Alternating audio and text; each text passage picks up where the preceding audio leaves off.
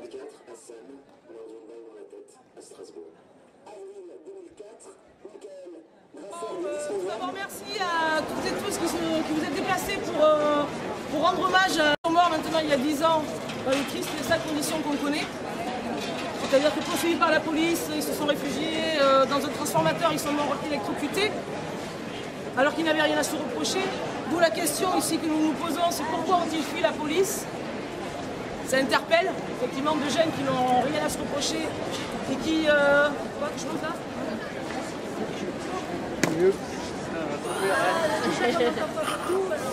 Donc, euh, donc merci euh, à tout le monde. Euh, je me suis pas présentée Myriam pour le collectif contre l'abus policier qui organise en collaboration avec le labo décolonial ce rassemblement. Ce rassemblement a été initié par rapport à euh, un groupement de diverses associations et collectifs à Paris aujourd'hui euh, autour d'une marche de la dignité qui dénonce le racisme d'État et notamment les, euh, crimes policiers racistes. Notre collectif a reçu cet appel il y a 2-3 mois de ça. Il se trouve que le labo décolonial aussi avait reçu ce même appel, appelant à faire cette marche de la dignité.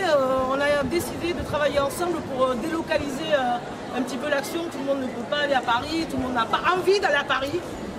Donc on pensait que c'était bien de faire un truc sur Bordeaux.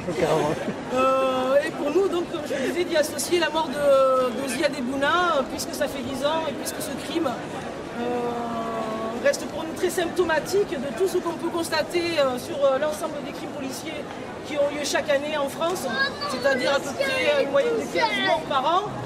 D'abord, un, que la plupart, voire la quasi-totalité des gens qui sont euh, tués par la police sont des gens euh, dont les noms, l'apparence euh, peuvent supposer qu'ils ne sont pas gaulois, pour faire court. Euh, on constate aussi que dans 99,9% des cas, lorsque la famille, les familles, les, les amis, les collectifs se battent pour qu'il y ait euh, des procès euh, pour incriminer les, les policiers et qu'ils soient punis, dans 99% des cas, les policiers ne sont jamais punis. Les familles ne sont jamais euh, reconnues euh, réellement comme des personnes victimes et elles ne sont pas bien sûr indemnisées et c'est souvent des années et des années de procédures qui sont balayées par, euh, le fait que la police et la justice marchent main dans la main quand il s'agit de faire vivre cet état raciste et le légitimer. Donc aujourd'hui, on rend hommage à Ziad Ebouna, on rend hommage à tous les gens qui sont morts euh, assassinés par les crimes racistes de la police, mais on rend aussi hommage à Rémi Fraisse, qui est mort le 25 octobre, car cette police raciste, elle est aussi, euh, s'inscrit aussi dans, un- dans une politique qui vise au-delà de tout à réprimer tout mouvement contestataire.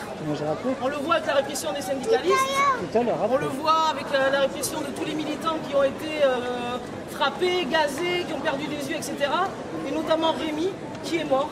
Donc euh, c'est un peu un fait nouveau mais euh, il faudrait faire en sorte que ça ne se généralise pas et peut-être qu'on a senti à un moment donné que la mort de Rémi Fraisse pouvait faire lien un peu avec euh, l'opposition entre les quartiers et les militants. On a pensé que cette mort-là, à un moment donné, pouvait souder un peu, mais au moins que tous ces morts n'aient pas servi à rien et qu'effectivement, tous ensemble, on soit de plus en plus nombreux à refuser l'État policier, l'État raciste qui nous gouverne. Merci.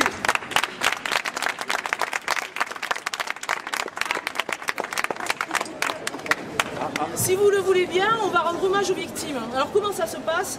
On a ici des pancartes, Euh, chacun peut s'en saisir d'une, on fait comme un mur, et pendant un certain nombre de minutes, depuis 2005, nous enregistrons euh, le nom des morts et les conditions dans lesquelles ils sont morts sur une bande-son qui malheureusement, euh, ouf, c'est maintenant 12 minutes, et on passe cette bande-son pendant qu'on fait le mur en mode hommage, silence, euh, pour que ces noms de victimes euh, puissent au moins une fois par an euh, résonner, y compris dans les murs de cette belle endormie.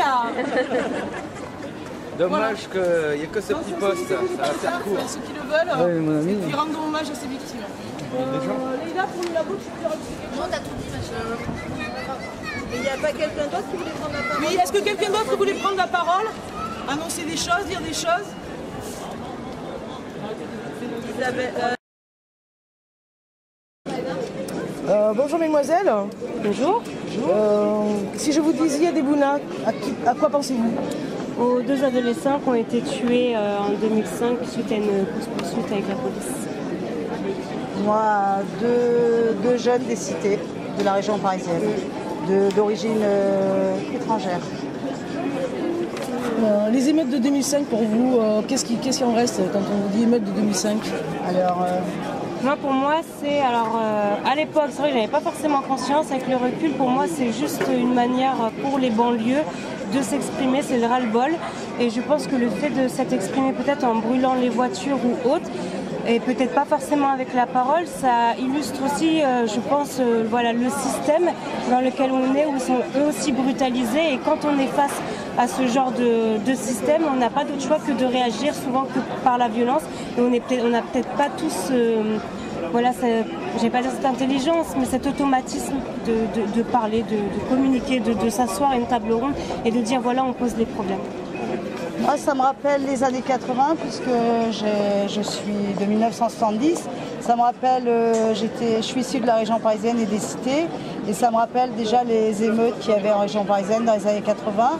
Et je me dis 83, la marche des beurs aussi, les Minguettes, Vénitieux, puisque moi j'ai vécu euh, ces moments-là.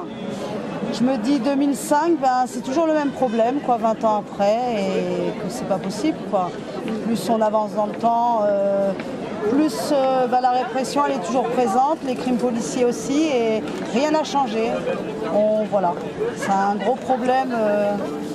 C'est un gros problème puisque rien n'a été fait euh, dans le bon sens pour les jeunes issus de l'immigration, nous, première génération, et la troisième ou quatrième génération. Et comment dire, les, le- les crimes policiers, c'est aussi euh, toujours les mêmes choses, c'est arrêter ben, les gens selon leur couleur de peau et voilà. Rien n'a changé, rien n'a évolué.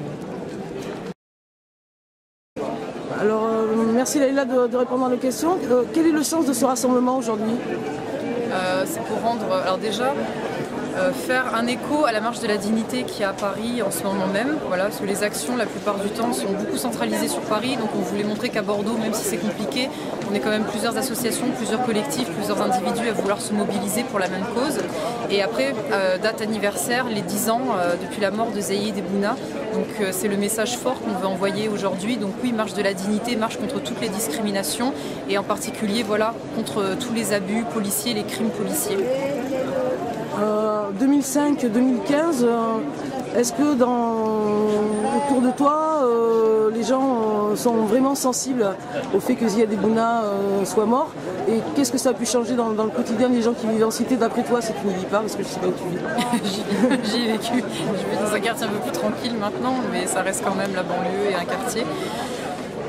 Qui a changé, franchement, on n'a vraiment- on n'a pas vraiment l'impression que ça a changé. Après, peut-être que dans des petites villes, on est un peu plus préservé que dans les que dans que voilà que sur Paris, Marseille, euh, Lyon, voilà les grosses banlieues.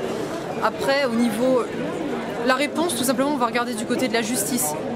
On a les actes d'un côté, on a la répression de l'autre. Euh, là, il y a encore il y a un mois, deux mois, les, la- les policiers qui étaient poursuivis pour non-assistance à, à personne en danger dans le procès ont été relâchés. C'est un message qui est très fort. Je pense que ça envoie le message euh, très simple et très clair. euh, continuez à tuer, il n'y aura pas de conséquences. Comme on dit, la police assass- assassine et c'est l'État qui couvre. Voilà, pour l'instant, c'est le message qu'on a. euh, pas un seul policier qui n'a été euh, arrêté, euh, mis sur pied. euh, voilà. Donc pour l'instant, c'est free pour eux. Par rapport euh, au fait qu'on dénonce aujourd'hui aussi le, racisme d'État, le fait qu'il y ait eu euh, plusieurs procès, notamment à Bordeaux, euh, de personnes dont l'avocat a pu prouver qu'ils ont été arrêtés par rapport à leur faciès, est-ce que pour toi c'est une réelle avancée ou est-ce que c'est de la poudre aux yeux pour, euh, pour dire on lâche sur ça mais on continue quand même à faire ce qu'on fait C'est de la poudre aux yeux. Il y a juste à voir ce qui s'est passé là à Paris. Valls, il a fait appel. Tu as suivi euh, ce qui s'est euh, là à Paris. Il y a eu des jeunes qui avaient obtenu gain de cause en première instance par rapport à des, contrô- des contrôles aux faciès. L'État a fait appel.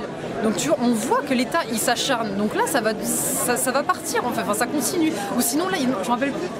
Faudra Mais c'est un pourvoi en cassation. Je sais pas. Ah, faudra, retrouver l'histoire. Je l'ai lu il y a quelques jours. Vraiment, ça, m'a tué. L'État, il laisse pas. Taubira, elle était contre euh, l'acharnement de l'État. Elle voulait laisser. Valls a fait appel.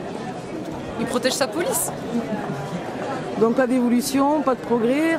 Euh, quelle solution du coup il reste à cette jeunesse euh, si, la, si la justice n'est pas rendue Est-ce que c'est de nouveau euh, craindre, redouter, en, enfin, constater le fait que cette jeunesse sera ou, risque d'être de nouveau violente avec toutes les guillemets que je peux mettre autour? Oui, violente, oui, c'est clair. Utilisons beaucoup des guillemets, oui, des gros guillemets. Des gros guillemets autour. Ah c'est possible. Après, on assiste aussi vraiment à des jeunes qui, comment dire, un peu voilà, une jeunesse qui est désabusée, qui pense pas avoir les outils. Pas, pas je m'en foutiste, tu vois, mais je, je sais pas. Après, il ne faut préjuger de rien et ça peut, ouais, ça peut péter dans les quartiers. Ça peut, ça peut péter. Moi, même, c'est ce que je souhaite.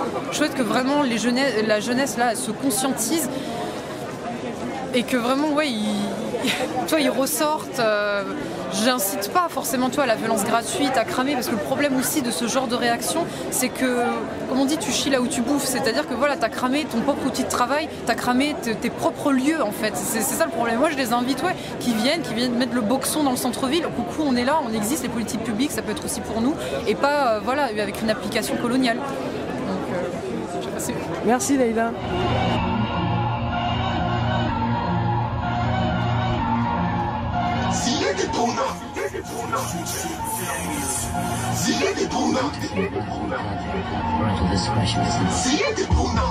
Dix ans après, tu peux faire le constat, très peu de choses ont changé.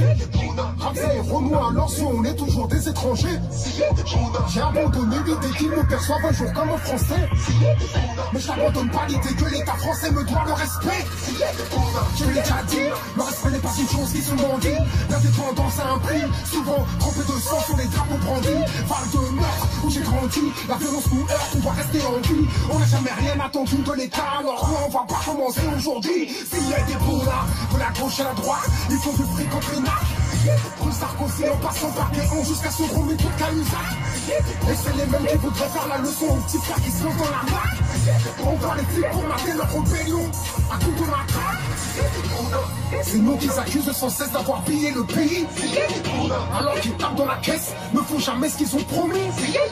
6 heures du mat, ils envoient les condés défoncer ta porte. Eux se rendent au tribunal en voiture de fonction sous escorte. Ils n'ont jamais connu la crise. Ensuite, s'étonne que le peuple se rebelle, les pourchasseurs arrachent leurs chemises. Y'a pas que les noirs et les arabes, ce sont tous les pauvres qu'ils méprisent. Lorsqu'ils nous parlent de l'islam, ils espèrent que ça nous divise. Quand vous cherchez des solutions, ça sert. Pour l'instant, vous ne faites que fabriquer des futurs mères. Votre mépris du peuple est flagrant et se paiera. Je vois à l'assemblée, on dirait un opéra.